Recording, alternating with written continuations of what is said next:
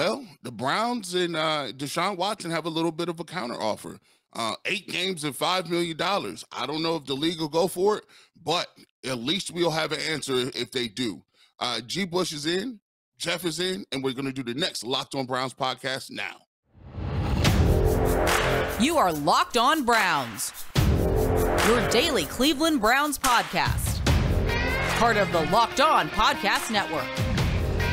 Your team every day.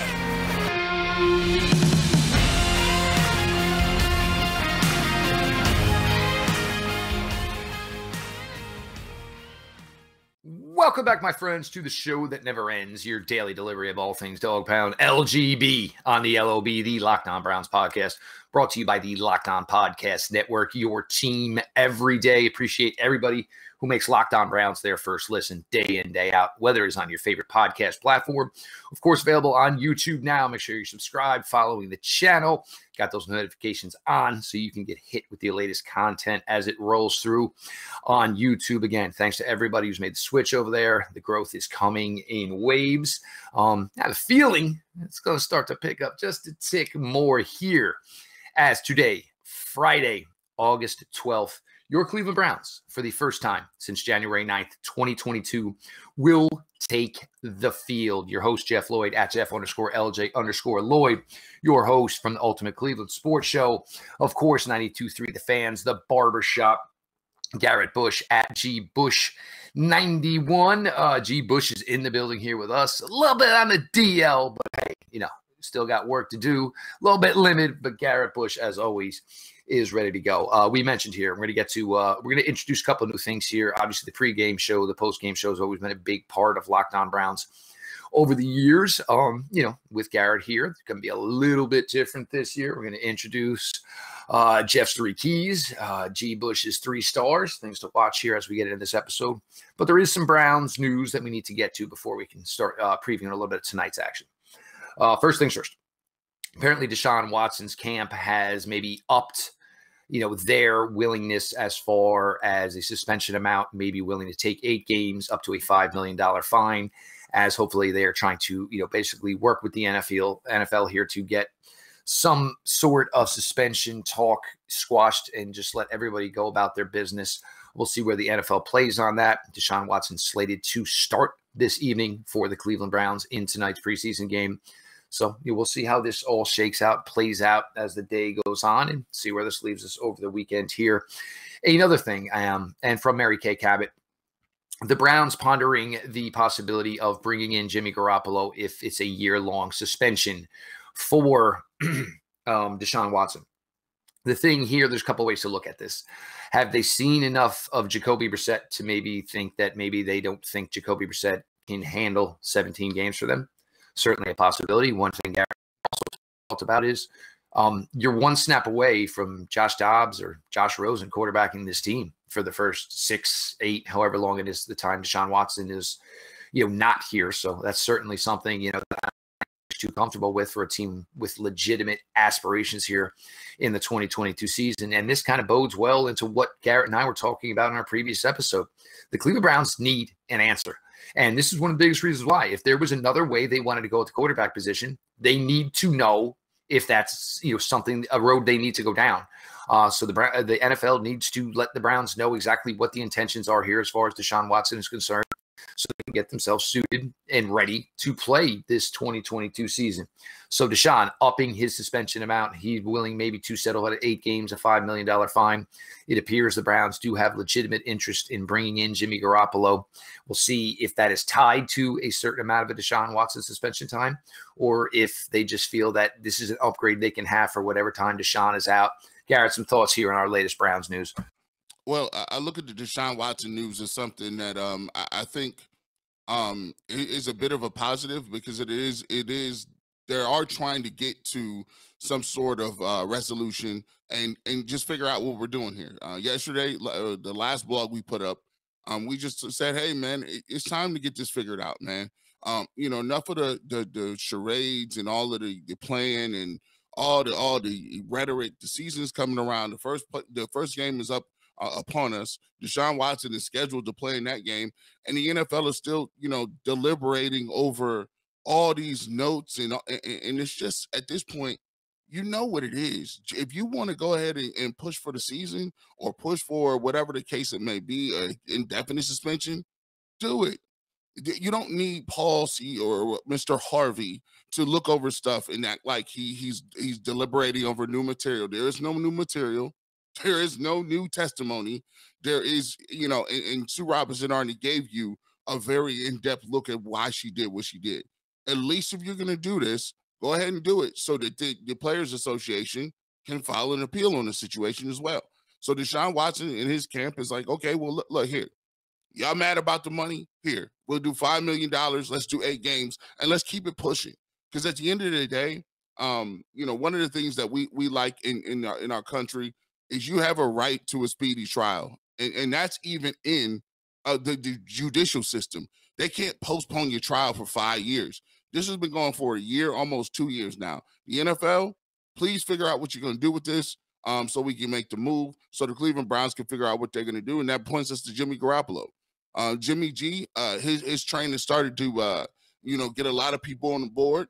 People are are, are basically saying that Jimmy G is going to be a better upgrade than uh, Jacoby Brissett. You know, um, I, is Jimmy G, in my opinion, better than Jacoby? Sure. It's about how much better it is. But I'm even almost done tired to talk about that too. Um, I, I almost I, I almost tell him like this: Listen, if Andrew Berry feels Jimmy G's going to give him the best chance to win, go ahead. Do do do you think, my guy? Uh, I, I'll worry about the salary cap and whatever is going to happen with that. I'm sure they got a bunch of Ivy League guys that are around that do nothing but figure out the cap ramifications, um, how much cap that has, and they understand that Deshaun Watson um, is going to cost a lot of money 50 million or 40 million, whatever the case is next year.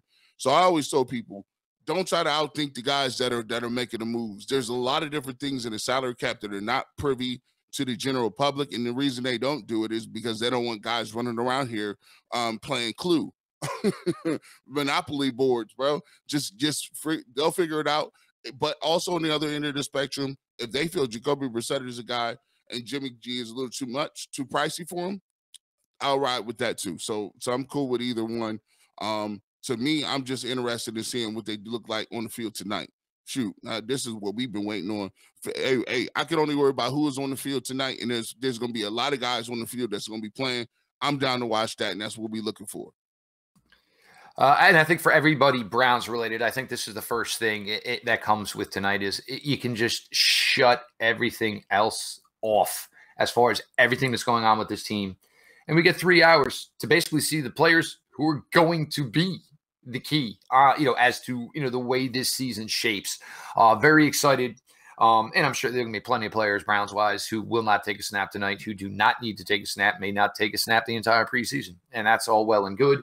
Uh, you know, we're going to get in a little bit more here with this, but, you know, with Jimmy Garoppolo, you know, this you see what Jimmy Garoppolo has done to this point in his career. Is he a perfect quarterback? No, that's kind of why the situation he is in where he is in in San Francisco, where they basically drafted a replacement.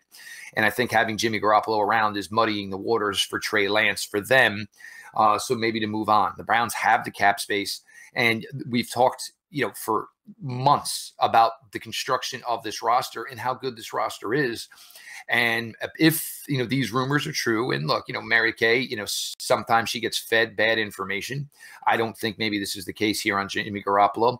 I think it's maybe a testimony of you know, even if you know Jacoby Brissett, they like what they're seeing. Maybe it's a possibility here where you know they're hedging their bet. God forbid, because we said one ankle injury away from Josh Dobbs or Josh Rosen, which I don't think anybody in that building wants or they think, you know, what they know of Jimmy Garoppolo and you know what they've seen at this point in his NFL career, he brings a little bit more to the table for them uh, as far as being able to help this team. And they owe it to this team to be, you know, they brought Sean Watson in, but we talked about this. They are talented everywhere else. You have a fantastic edge duo. This secondary looks to be absolutely incredible linebackers that look like they can go sideline to sideline and run with anybody in the NFL. An offensive line that is top shelf.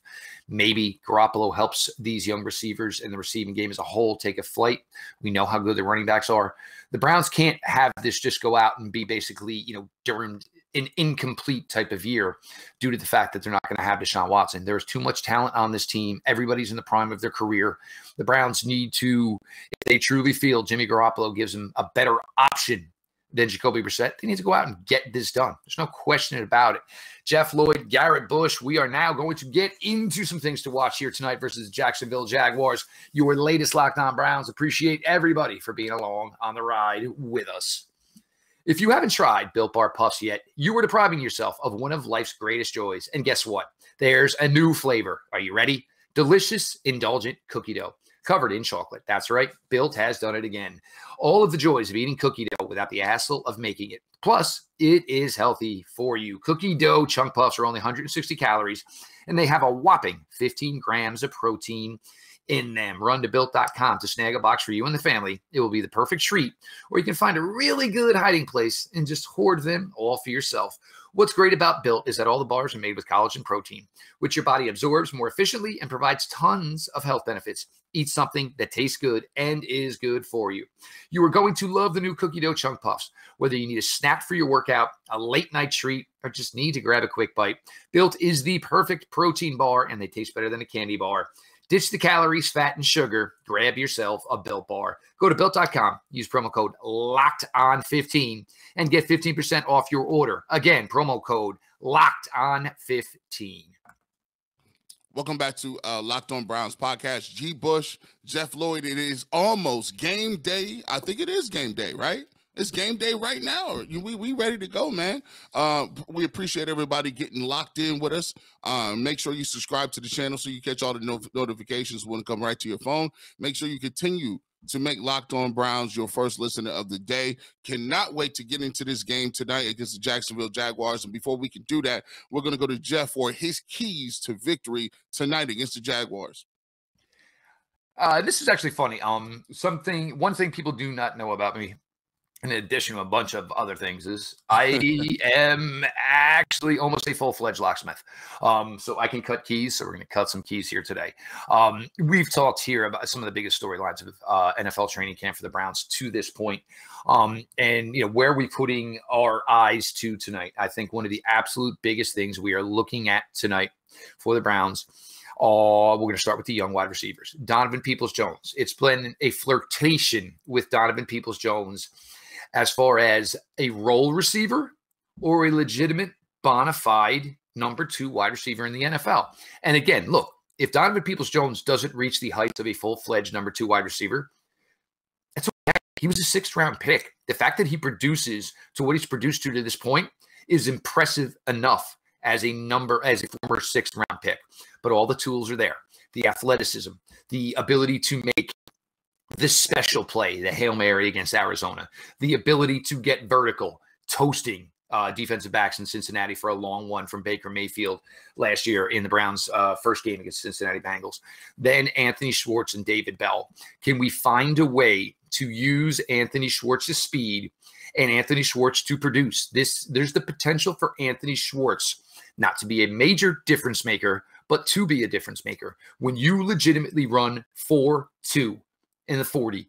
That is game changing speed. Anthony Schwartz was training for the Olympics two years ago before COVID wiped all of that out.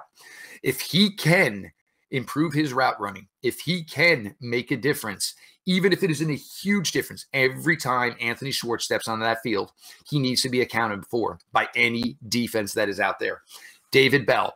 David Bell, what do we think about David Bell? We think David Bell can kind of give you what you lost when Jarvis Landry was moved on from from the Browns. Is he going to give you those type of numbers that prime Jarvis Landry did?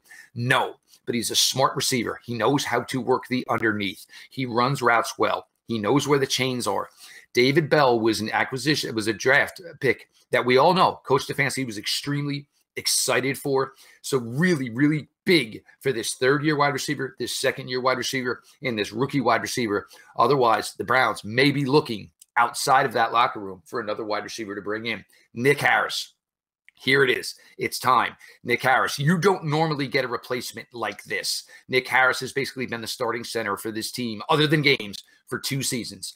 You know, as we all know, JC Tretter, as much as everybody loved him, very injured. The knee only allowed him to do so much. Nick Harris basically was your center every single day except for game day. He's primed. He's ready. He's been coached up, of course, by the legend Bill Callahan. He's done a ton of work to get his body in shape. And then for me, it's just the rookies in general. Look, nobody rookie wise, except for Cade York, is walking into a starting assignment. But when you have a team that feels like they have legitimate aspirations as to what they can do, there's going to be times where your depth has to step up, whether that's a Perrion Winfrey in the defensive tackle room, whether that is a Martin Emerson. Look, and as much as we like the cornerbacks here for the Browns, there's been missed times over the years and times where other guys have had to get legitimate reps. Can Martin Emerson be one of those guys? Of course, David Bell is another guy we mentioned. Um, you know, where is the depth in the edge room going to go? We have our starters in Clowney and obviously Myles Garrett. Chase Winovich looks to be like a nice, very nice situational pass rusher. Alex Wright, Isaiah Thomas, they fit the bill. Six foot four, six foot five, 270, athletic, long, lean. These guys can get things done. So for the rookies here, this is a big opportunity for them. Yes, your playing time is not going to be a large amount unless something goes wrong but you're going to need to be ready when your number is called. And for the rookies, these are the guys who are probably going to see a majority of the snaps tonight, Garrett. Yeah, lo- love, love, love what you talked about with the with the receivers. Um, I, I, think Donovan People Jones goes right into the uh into that mix with those receivers. Anthony with Donovan, it, needs to stop being a summer thing. You know what yep. I'm saying? You know what this is almost yep. like? It's like when you went away, you had that summer camp girlfriend, or you met a girl at the beach, that Donovan Peoples Jones now needs to be the fall winter Donovan Peoples Jones. You, you need to be you need to be a you you got to you got to keep my interest. you got to keep my interest the whole school year, right, Jeff? Uh, so it, it's it's Donovan Peoples Jones. Um, I want to see if he if he's out there ready to go. Um, I, I liked what you you said in Nick Harris, and, and, a lot of people don't know Nick Harris has been getting a lot of reps behind the scenes. Um, he's one of the guys that Coach Kevin Stefanski really mentioned in terms of a guy that's been living at the facility. He said there's a couple of them. Uh, you, you got uh, Jordan Elliott, who he said lived at the facility. Uh, you got uh, you, you, know Jack Conklin lived at the facility because of an injury. The third guy that was there that was on a on a, on a bona fide plan with the strength and conditioning, um, gained up to 20 pounds. Um, worked on his his game was Nick Harris. So I'm I'm looking forward to seeing him. if the Cleveland Browns are going to be a dominant offensive line. I'm looking at that guy um, and, and the three guys on the outside. Can can Jack Conklin stay healthy? Can Nick Harris step up and take that uh, take that role from J.C. Tretter? And, and can Jedrick Will uh, Wills really really solidify himself um, into a position where the Cleveland Browns don't say they have to go look for another left tackle? He's a guy that uh, that that is going to be the left tackle moving forward in the future. Like all of those, uh, and, and then uh, definitely when we go to the uh, secondary, Secondary is huge. I want to see what Greedy Williams is going to do today. Uh, I already know what Newsome is about. I want to see him continue to take that next step. And I'm looking forward to seeing uh, Grant Delpit, Emerson, uh, and, and, AJ Green to see if, if I can start stamping this Cleveland Browns secondary as one of the best secondaries in the league. So all those all those are good points. I can't wait for the game tonight. And, and looking forward to seeing obviously uh, Deshaun Watson put on the Browns jersey and get some playing time for the first time. Uh, you know, obviously we've had to deal with, you know, a, a, lot of other things here, you know, this training camp, as opposed to actually talking about, you know, football, which again, guys, our deepest apologies. I don't want to do it. Garrett don't want to do it. God knows our network doesn't want us to do it. Um, but you know, it's what the storyline is right now. But this should be about football. So tonight, you know what? Block it all out between the white lines. This is what it's all about. Nothing else. I mean, everything else is just you know conjecture and speaking. We know that there's going to be a suspension coming for Deshaun Watson. Just need it to be put into you know final ease as far as what that is. But this is still a very, very strong football team. Deshaun Watson has not taken a snap in the NFL for almost two years. Um, also, the fact that you know there this team he's never played for the Browns, obviously, and this team is constructed and built with some fantastic talent, motivated players, guys who play for each other, guys who play for the Cleveland Brown logo and treat the Cleveland Brown logo like it is as important as any other logo in all of sports. That's the way they carry themselves. That's the way they carry this franchise on their back and represent this franchise. And it's good to get back to that. I think everybody, it's it's going to be a nice three hours tonight where we can get some clarity, just get back to what they love. Um, you know, will some fans who have been so upset about the Browns, you know, move of Deshaun Watson come back tonight?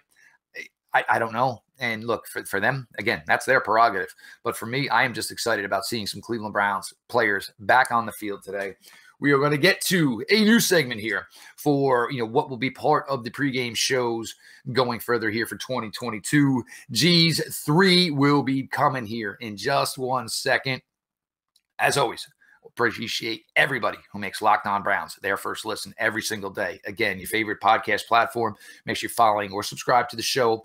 Five star ratings, written reviews, uh, YouTube over 2,500 followers now. Um, could I mean subscribers could not be more appreciative to everybody. Um, it's certainly been a new avenue for me you know, working into this, you know, and Garrett coming in here, this was a huge part of making this engine go. Um, we've had a ton of fun with it. We're going to continue to have a fun, uh, a lot of fun with it. And you know, look, what we and what we said when this started is, ain't, nothing ain't going to matter. Wait till we actually have football to talk about. And come tonight, we will have actual football to talk about. Now, as I had mentioned, we uh, we're going to flip it up here a little bit as we're beginning uh, another new season here. So, um, as I gave you my keys to the game, we are now going to introduce G's three, Garrett Bush's three players he is most focused on this evening as the Browns travel to Jacksonville to play the Jaguars. Well, this is an easy one, man. And one of the one of the players, the, the first player I'm looking at, we kind of foreshadowed a little bit, is Deshaun Watson. Um, first game in two years in two almost two years uh, for Deshaun Watson. Sat out all last year. Um, just a, an opportunity for him to get back on the field, and I think it's a good opportunity for the players uh, and his teammates to see who Deshaun Watson is as a player, more than anything, the fans. Um, I think that you know the fans for so long, um, eh, eh, you know, have you know been told about Deshaun Watson, um, and and we've had to defend Deshaun Watson. We've had to come to the aid of Deshaun Watson and he hasn't even played a game for us. Today is a payoff for all the fans that have been, you know, saying, is this guy worth three extra first round picks? Is this guy worth all the heartache and pain? Is he worth all the uh, the criticism I'm, I'm getting on Twitter and Facebook and people asking me how can I support the Cleveland Browns? You got Deshaun Watson. Well, today is a day where you actually get to see what type of ball player he is on the field. Uh, you get to see why the Cleveland Browns went out their way uh, and, and sacrificed so much to bring him in. Um, and I'm just excited to see what he's going to bring to the table. Just something to get his feet wet, something to just you know take a look at the skill set, and and and, and ha- this will be the first step possibly into getting things behind him by getting back on the field because that's where players' sanctuary is, It's the field. Um, it's the locker room. Uh, it's not in front of people in front of 30,000 cameras talking about allegations. That's not where most people are most comfortable with. So excited for first and foremost about Deshaun Watson getting an opportunity to play and fans getting an opportunity to, to see him. Second person I'm definitely looking at today. This is uh this is going to be one of the, one of those those guys who to me really needs to uh really come to come to play. And that's Jordan Elliott. And the reason I got Jordan Elliott is because Coach Stefanski spot shot him, said his game is totally different. Um, he's he's up to 320 pounds. He, they have him starting today.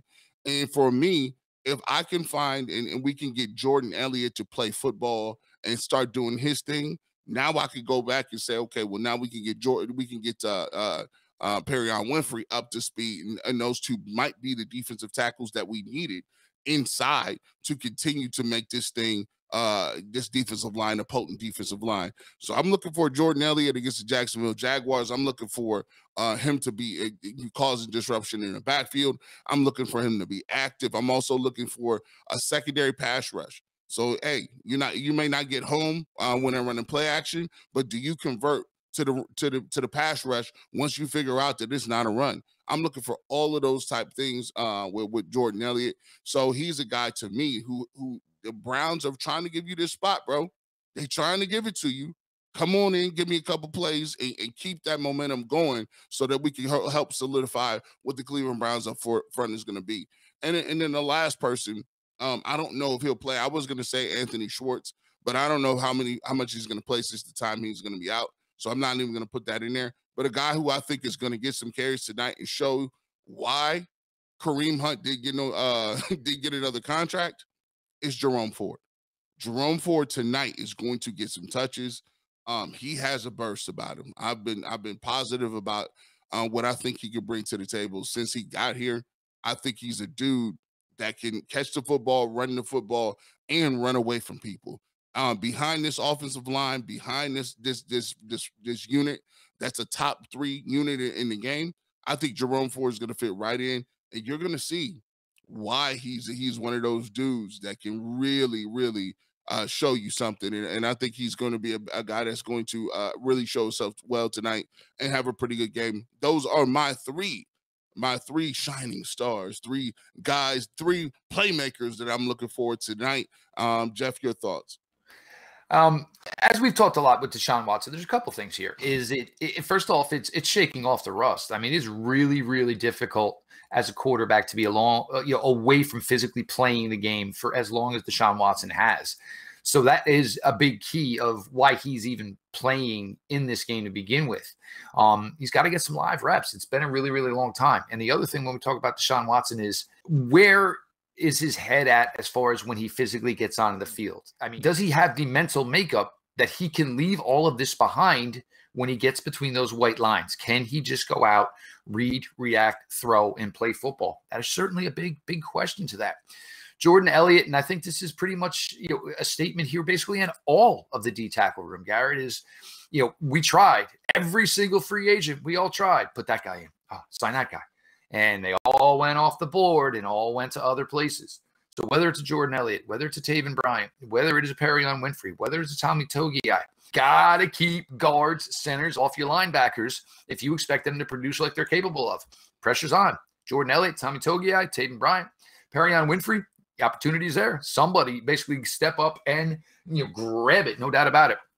Jerome Ford, um, definitely was interesting that the Browns did draft a running back.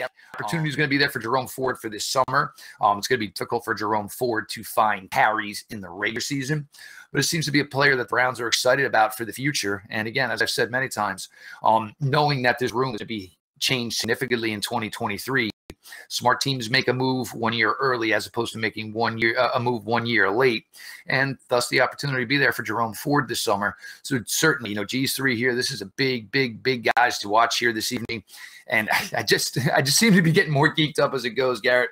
Um, definitely excited to just get to see some live ball here this evening. Oh yeah, listen, that, that's what it is. I, I think that's why everybody is so so excited about it. This is you get an opportunity to see guys um, you know, block, tackle, do do the things that they do well. And this is a great opportunity um for the Cleveland Browns to get out here and see some of these guys, man. So that's why I think everybody is really excited today because we're going to get a chance to see um Deshaun Watson. You're going to get to see new guys. You're going to get to see Nick Harris, uh, Perrion Winfrey, and, and you know there's a level of optimism um at this point in time around every every camp in uh in football. Everyone believes that the it, you know due to the NFL and the way the NFL goes, somebody goes from worst to first every single year. Some team that was that had Super Bowl aspirations um, come out and lose three in a row, and and you're kind of out of the out of the mix. So that's the thing. The great thing about football is is the the actual product on the field, and guys, um, the people, the players make the field. And, and sometimes, I, you know, when we get disillusioned with the whole process in the NFL and the front office, is because that's not part of the game. The part of the game that we enjoy, that we love, is that it has to do with the, the X's and O's in between the field. And Roger Goodell and owners don't have nothing to do with that. They sit in the box and watch the games just like we do. That's the best part of football. Um, so you know, I, am glad to be able to get back to that today. Again, very, very excited. Browns for the first time since January 9th, 2022, back on the field tonight in Jacksonville against the Jaguars. And I know, you know, a lot of people, you know, preseason doesn't mean anything. I think this team, this team, a win would do well for this team because I think it would certainly let this team know that, hey, we understand the situation with our quarterback and we are going to be without him I guess for right now, we'll just say indefinitely because we do not know the number. But this team needs to feel good about themselves and know that the way the rest of this roster is constructed is good enough to play with anybody in this league. That's how good this defense is. That's how strong this offensive line is. That's how good this running game is. This team needs a, a feel good day. The Browns need a day where they can probably feel good about themselves. Should get that this evening in Jacksonville. We'll be back, you know, after the game tonight. We are going to pump it out here. Um, I, I I just can't tell you how excited I am, and this is this will be now year six of full Browns coverage for me. Um, you know, it's been a hell of a ride to this point. Uh, I can't thank you all for everybody who's you know basically become part of this with me. Now, Garrett in here as well uh, on the Locked On Browns podcast. We're just going to continue to crush it for you guys, give you the best possible content we can day in, day out. Garrett Bush, part of the Ultimate Cleveland Sports Show on the DL to till until Monday. But part of it, look, man, these guys got to recharge your batteries, man. That run from September to January will be a long, long run. So everybody's got to make sure they're 100%. Uh, also, 92.3 The Fan, The Barbershop, uh, Saturday mornings, always other appearances where G. Bush popping up over at The Fan. So make sure you're checking all of that out. Make sure you're subscribed to the Ultimate Cleveland Sports Show. Make sure you're following Garrett at G. Bush 91 me personally, Jeff Lloyd at Jeff underscore LJ underscore Lloyd. Show itself, Locked On Browns, follow back account. DMs are open. Questions, ideas, thoughts. Uh, I'm ready to go tonight. Definitely excited tonight for everybody who makes Locked On Browns their first lesson every day. We appreciate you, whether it's in podcast form. Make sure you're following, subscribe, and of course now on YouTube. Uh, make sure you subscribe to the ch- channel. Make sure you have the notifications on. So stuff on YouTube drops to you immediately. All that being said, we got a ball game tonight, kids. It's been seven long months. Block everything out. Just sit back and watch your Cleveland Browns. This has been your daily delivery of all things Dog Pound LGB on the LOB. Let's go Browns.